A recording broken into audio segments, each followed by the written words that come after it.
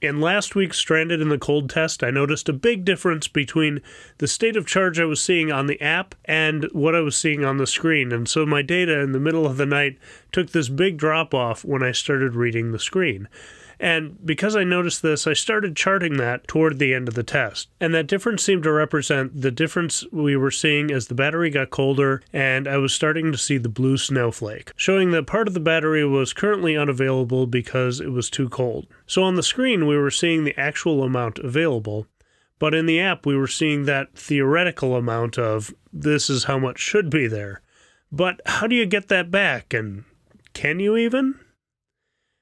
Well, that's what we're looking at today. And if you're plugged in, it's easy. All you do is precondition your car from the app, set that to go before you you leave, and it uses the wall power to heat up the battery pack, and you're off and running with little or no range loss whatsoever. And then once you're on the road, you're more efficient because you've got that warm pack. When you're not plugged in, well, that's what today's tests are about. We're going to do two drives. The first is having charged the car in the morning, I set it out in the driveway and let it just cool there for four hours. Then we got into the car, dead cold, and started driving. Then, after getting home, we're going to let the car sit again for four hours, really cool down, and see that difference between the app and the screen again. And this time, we're going to precondition for about 20 minutes, is what I usually would do in a preconditioning situation. And again, this is going to be unplugged, so it'll give us a good sense of does either one of these methods actually give us back that battery capacity, or is it just lost in different ways? For safety's sake, it didn't make sense for me to drive and take the data, so Ellie was kind enough to join me and do that data tracking for me. So, can you explain what you are tracking and how often?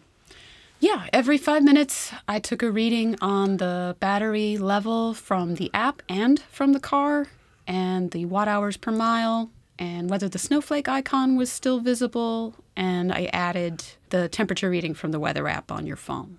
And so we've already done drive one, we've got that data in, and we're letting the car cool down. We're going to do another drive and see how that goes. We'll meet up with you after that drive.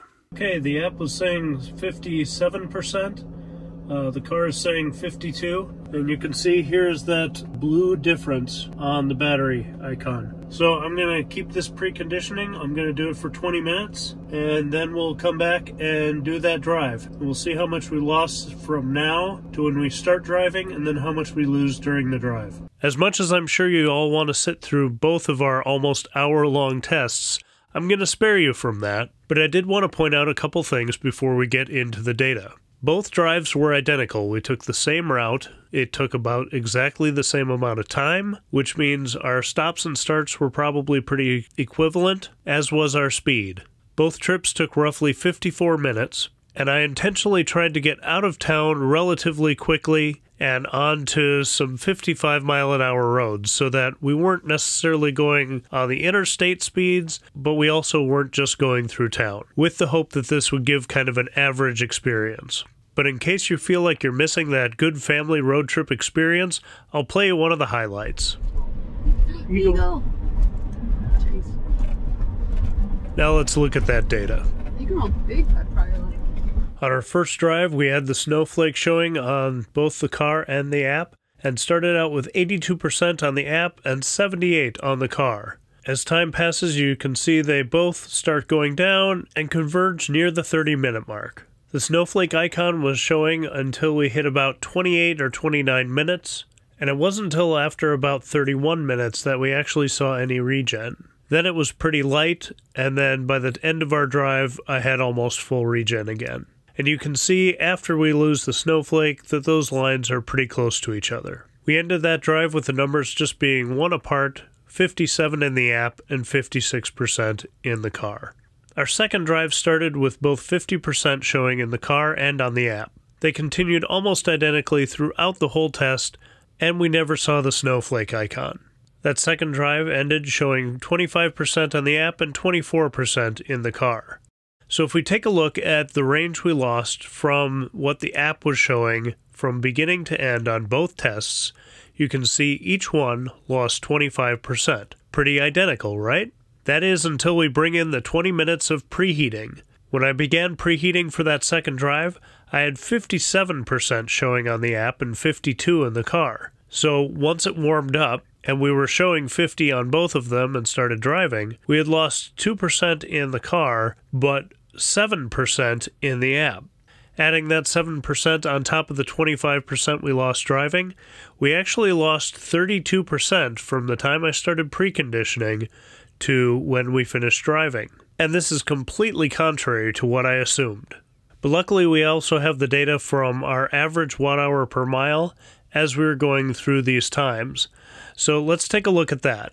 On our first drive, we shot right up to 657 watt hours per mile as the pack went from dead cold to try to warm itself up and trying to propel us. Even though some of that early part of the drive was downhill, we weren't getting any regen, so it was having to do all the work. That came down into the 500s and then settled around the mid to low 400 range.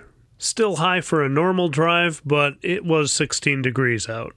Our second drive performed just about how I expected for the most part. It jumped up, but only jumped up to that 450 watt hour per mile level, and then danced around the middle 400s through the rest of the test. The temperature was 5 to 10 degrees colder than our afternoon test, but still I expected this watt hour per mile to be much lower since we had preconditioned. Since the terrain and speed on both tests was the same, I'm assuming that the difference at the end of the test where the second drive goes a little higher, using more energy, is because of those colder temps. So what does this all mean?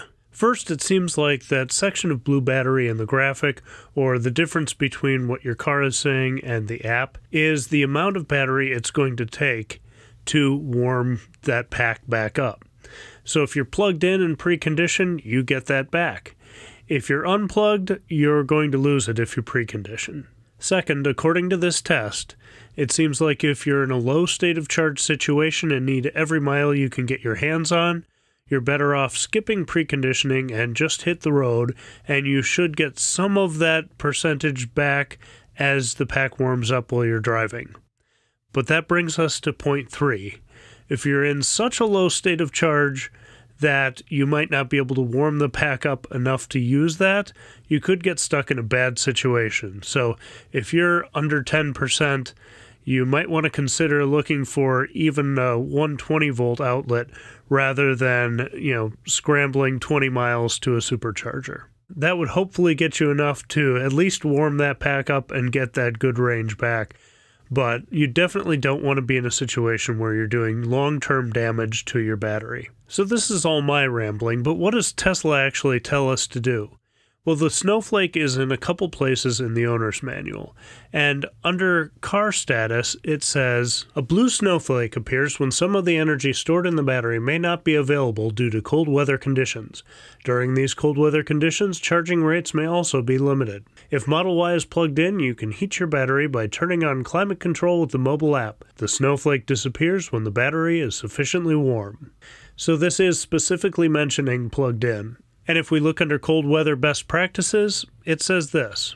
A blue snowflake icon appears on your touchscreen when some of the stored energy in the battery is unavailable because the battery is cold. This portion of unavailable energy displays in blue on the battery meter. Regenerative braking, acceleration, and charge rates may be limited.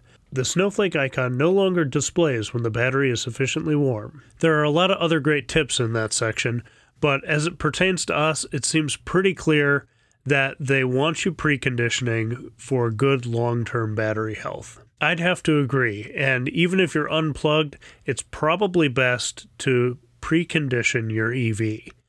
Now, if you're in that situation where you need every mile you can, or if you just like to live dangerously, it does seem like skipping the preconditioning process once in a while is a way to get back some of that snowflaked range.